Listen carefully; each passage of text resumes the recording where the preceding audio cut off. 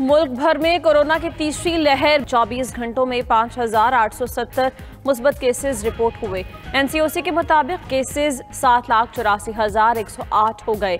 मुस्बत केसेस की शराह दस आशारिया नौ सिफर हो गई। उधर कनाडा ने कोरोना केसेस में इजाफे पर पाकिस्तानी परवाजों पर 30 रोज के लिए पाबंदी आयद कर दी। कोरोना की तीसरी लहर, हुकूमत सख्त फैसले करने को तैयार। एनसीओसी इजलास आज होगा। पहले मरहले में शाम छह से सहरी तक कारोबार बंद करने की तजवीज़। तेरह फ़ीसद से जायद शराह वाले शहरों में मुकम्मल लॉकडाउन की तजवीज़ दी। दूसरे मरहले में हाई रिस्क शहरों में दस दिन तक लॉकडाउन की तजवीज़। उधर कराची और सखर में कारोबारी मराकज बंद रखने के दिन तब्दील। कराची में तजारती मराकज और मार्केट्स जुम्मे और इतवार, जबकि सखर में जुम्मे और हफ़्ते को बंद रहेंगे।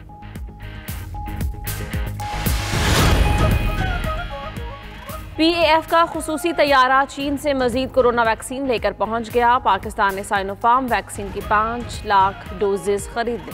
मुआवन खसूसी सेहत, फैसल सुल्तान ने कहा, आइंदा दिनों में मजीद वैक्सीन पहुंचेगी। ईद के बाद वैक्सीनेशन प्रोग्राम को वसत देंगे।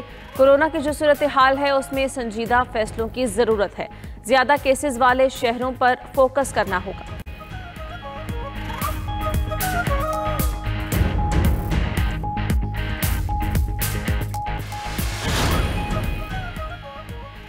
इलेक्शन कमीशन ने पी के तिरसठ नौशहरा का ज़मनी इलेक्शन कलदम करार देने की पी टी आई की दरख्वास्त खारिज कर दी। इलेक्शन कमीशन ने ज़मनी इंतखाब का नतीजा बरकरार रखने का फैसला सुना दिया। एन ए दो सौ उनचास कराची में ज़मनी इलेक्शन उन्नीस उनतीस अप्रैल को ही होगा। इलेक्शन कमीशन ने सिंध हुकूमत को फैसले से आगाह कर दिया। उधर पाबंदी के बावजूद सूबाई वजरा इंतबी मुहिम चलाने में मसरूफ़।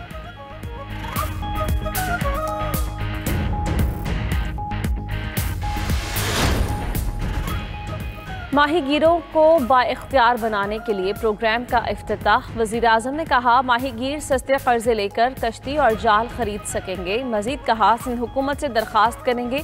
बंदल आइलैंड पर काम करें। इमरान खान की जेर सदारत इकनॉमिक एडवाइजरी काउंसिल का अजलास भी हुआ। वीडियो लिंक पर खिताब में कहा, मजीद टैक्स लगाने के बजाय आवाम को रिलीफ के लिए तजावीज़ दी जाएँ।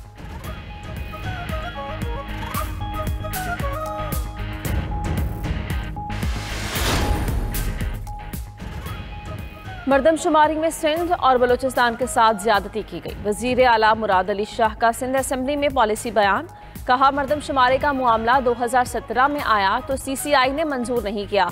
पार्लियामेंट में कहा गया, सिर्फ़ नए इंतबात के लिए नतज को मानते हैं। अब मुश्तर मफादात काउंसिल में उनकी बात नहीं मानी गई और नतज को तस्लीम नहीं किया गया। मामला ज्वाइंट सेशन को रेफर कर रहे हैं।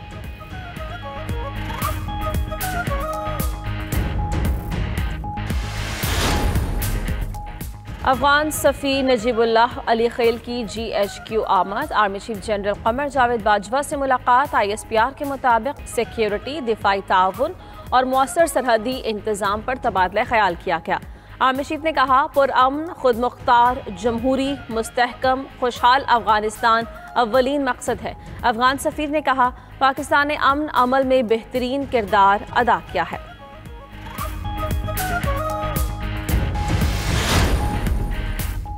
चीफ जस्टिस की सरबराही में जजेस तकर्री जुडिशल कमीशन का अजलास जुडिशल कमीशन ने लाहौर हाईकोर्ट में तेरह नए एडिशनल जज तैनात करने की सिफारिश कर दी।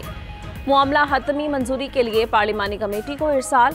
जुडिशल कमीशन के अजलास में सुप्रीम कोर्ट के सीनियर जजेस, अटॉर्नी जनरल वज़ीर कानून और दीगर अरकान ने शिरकत की।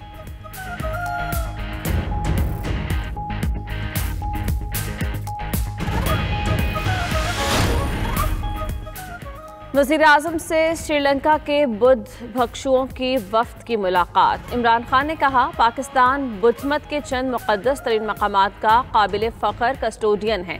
हुकूमत होली बुद्ध ट्रेल बनाने पर काम कर रही है। वफ्त की बुद्ध ट्रेल बनाने, आसार कदीमा और मजहबी मकाम की तजन आरइश की तारीफ़। श्रीलंकन वफ्त ने खानपुर में बुद्धमत तहजीब के आसार का दौरा भी किया। पाकिस्तान का दुनिया से माहौलियात के हवाले से डूमोर का मुतालबा। वजी अजम के मुआवन खसूसी अमीन असलम का क्लाइमेट समिट से खिताब। कहा, आलमी बरदरी माहौलियात के लिए सौ अरब डॉलर की फराहमी यकीनी बनाए। अमरीकी सदर का अफ्ताही खिताब में मौसमियाती खतरा कम करने के लिए 2030 तक कार्बन अखराज निसफ पर लाने का ऐलान। चीनी सदर ने कहा, माहौलियाती और मौसमियाती खतरा को कम करने पर तवज्जो देना होगी।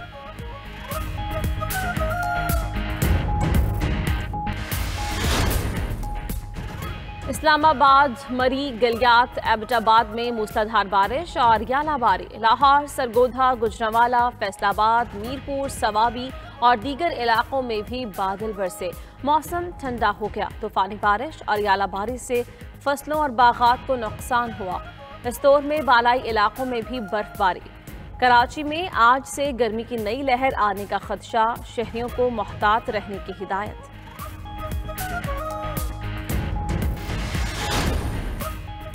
और पाकिस्तान और जिम्बाब्वे के दरमियान सीरीज़ का दूसरा टी ट्वेंटी आज खेला जाएगा। हरारे में मैच पाकिस्तानी वक्त के मुताबिक दोपहर दो बजे शुरू होगा।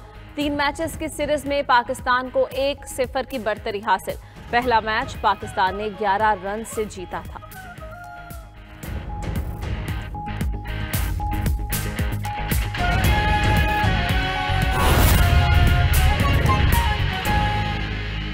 हमारी गवर्नमेंट का नज़रिया है जो हमने 25 साल, अब इन संडे को 25 साल हो जाएँगे हमारी मूवमेंट को।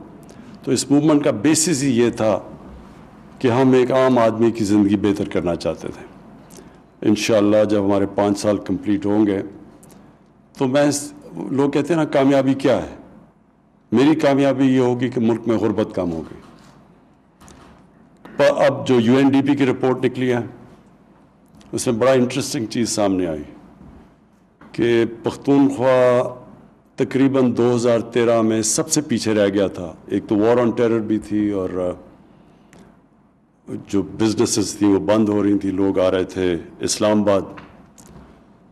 तो 2013 से 2018 तक, जिस सूबे में सबसे तेज़ी से गुर्बत कम हुई और अमीर गरीब का फ़र्क कम हुआ, वो पख्तूनख्वा था यूएनडीपी की रिपोर्ट के मुताबिक। तो जो हमें, माशाल्लाह, जो दो तिहाई अक्सरियत मिली थी, उसकी मेन रीज़न ये थी कि लोगों के जो आम आदमी के हालात बेहतर हुए थे। तो पाँच साल के बाद इन जब जब हम फिर जाएँगे लोगों के पास तो मैं कामयाबी ये समझूँगा।